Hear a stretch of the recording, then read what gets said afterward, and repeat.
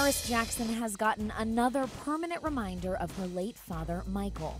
The 18 year old and her brother Prince hit up the tattoo parlor together on Sunday.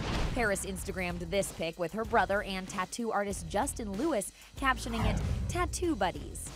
She had the work on her right hand finally completed. It includes a bad tattoo in honor of her dad, as well as other ink that pays tribute to David Bowie, Prince, and Van Halen.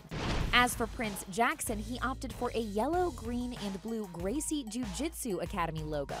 It has special meaning for the 19 year old. He wrote on Instagram, They've taught me so much about not only the sport, but also life.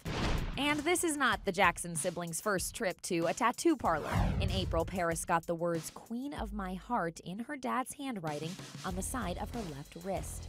Days later, Prince had an Egyptian god inked on his right shoulder blade.